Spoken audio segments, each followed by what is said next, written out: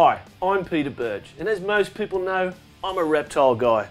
And I love snakes especially, just like this little girl sitting on eggs. It's that time of the year where you get that warm, fuzzy feeling. Most people don't realise that I will travel to places like America to see these gigantic reptile expos.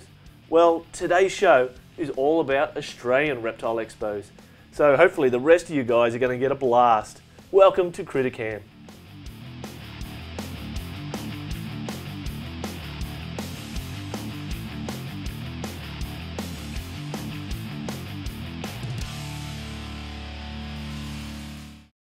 In this week's show, we take a closer look at some of the reptile expos we've travelled to on the east coast of Australia.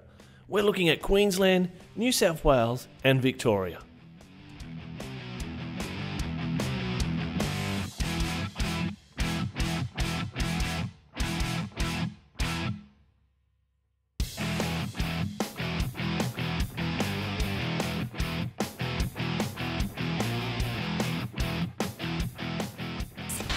This week's question of the week How long have reptiles been available to be sold at reptile expos within Australia? 10 years, 15 years, or 20 years? Please leave a comment below.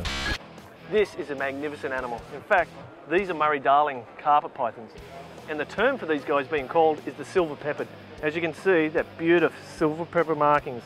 Absolutely spectacular animals. And probably more importantly, is that these guys can be genetically replicated. In other words, our friend Darren, who's working with these animals, is producing more and more of these, and they are an absolute spectacular animal. In fact, I know that there's a lot of people here today that'll want this animal, if not all over the world. These guys are beautiful.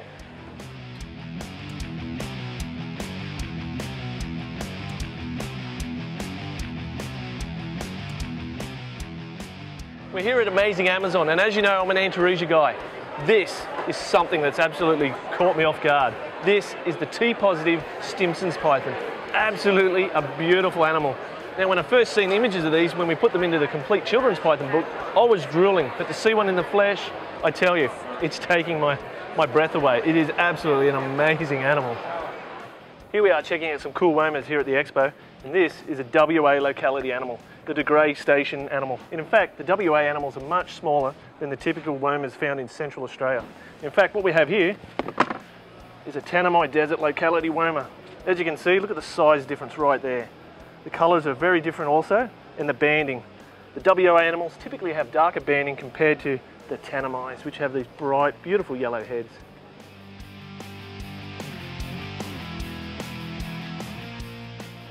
You never know the coolest things you'll find in a show like this. And in fact, I just stumbled upon this beautiful northern blue tongue. Absolutely a magnificent animal. And in fact, it's got no banding at all this animal. It's truly beautiful. And what also makes it pretty spectacular is it's got these beautiful black eyes. What a beautiful lizard. Check out this guy. It's the largest cockroach species in Australia. And in fact, it's not truly a cockroach. It's really called a litterbug. These guys are absolutely magnificent. They burrow down into the leaf litter, eating decayed leaves and dirt and all sorts of cool stuff. Absolutely amazing animals.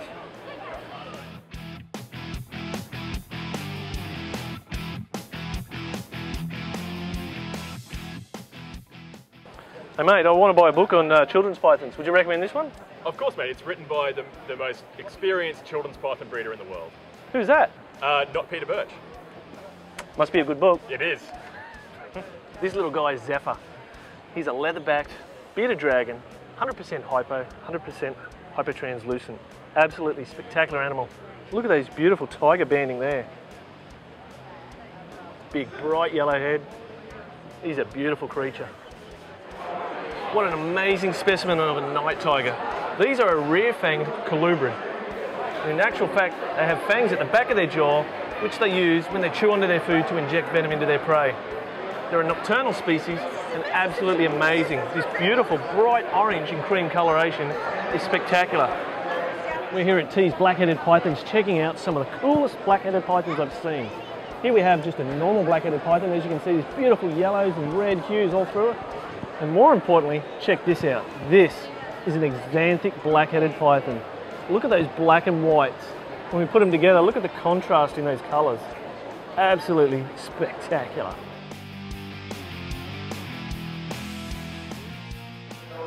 We're here with one of the owners of Scales and Tail Magazine Australia, Mahalia. We're going to ask her some really quick questions about the magazine.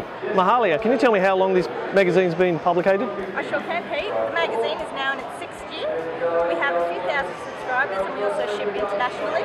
We've just unveiled our new website and we also have just launched the e-mags, which are now available, one to current. Awesome, and I noticed you guys also sell these magnificent binders. Yeah, the binders are very popular. Each one features a new cover each year and they hold six. In fact, if you haven't got the magazine, I would subscribe. It is absolutely amazing.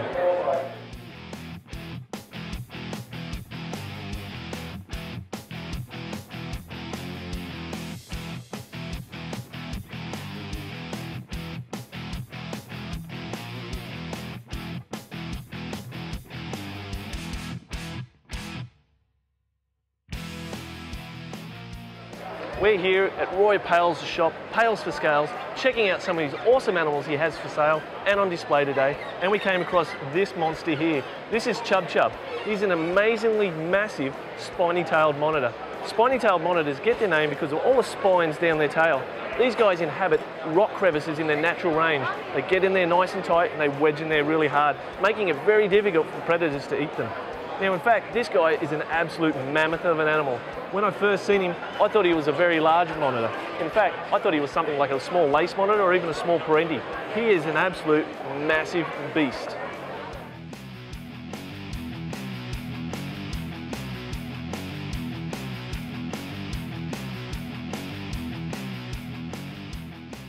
How often do you get a chance to hold a saltwater crocodile like my little friend here, Smiley?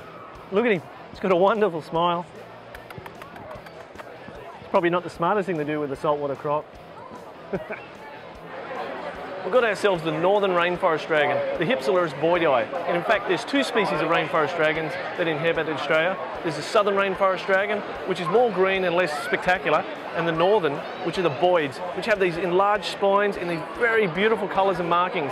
And in fact, the dewlap also has a lot of spines there.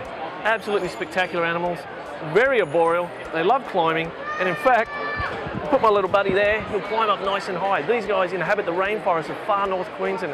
Absolutely awesome animals.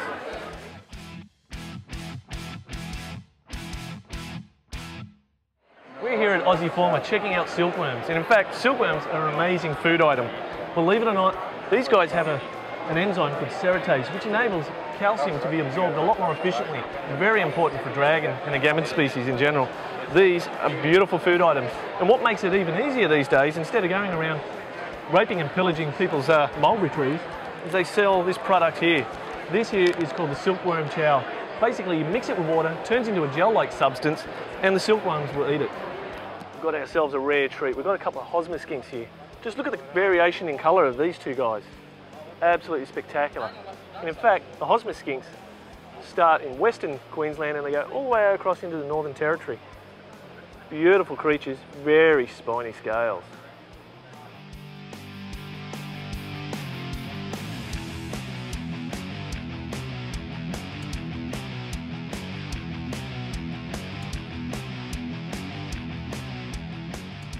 We're here at Knobtail Kingdom checking out some of the really cool knobtails they've got. In fact, look at this little guy here. They're calling this a high white. It's actually a levis pilbarensis, one of the beautiful little creatures I've seen in a long time. We're here at Turtles Australia checking out some amazing turtles. And in fact, these guys are a self-funded group helping to try and protect the expansa, the northern long-necked turtle.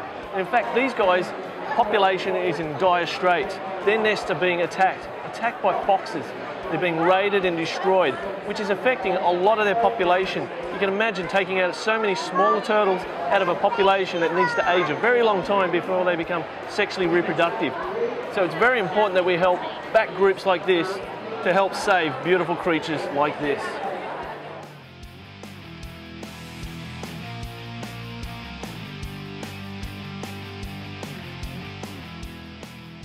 WA shinglebacks are absolutely amazing animals. Look at the colour of this beautiful creature here.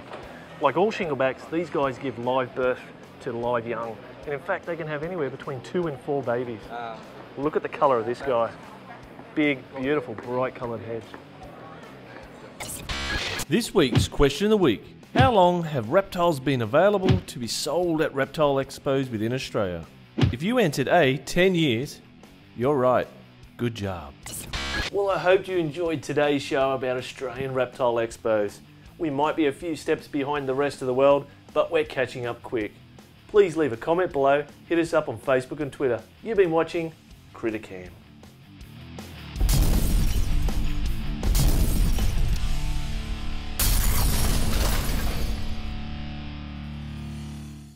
Ah, thanks for watching. Ah.